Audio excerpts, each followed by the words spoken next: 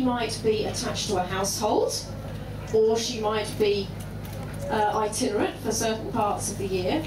But um, certainly she needs to look her best, and you can see that she is wearing a gown. Not just a kirtle, but she has a gown over the top of it as well. It's a linen one, but here we're starting to see some fashion creeping, aren't we?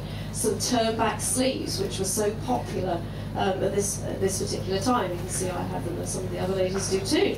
Um, yes, here's the kirtle here that we can see peeping out, and the gown is cut in the French style, split at the front.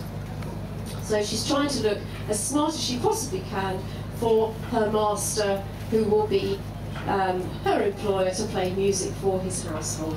Thank you very much.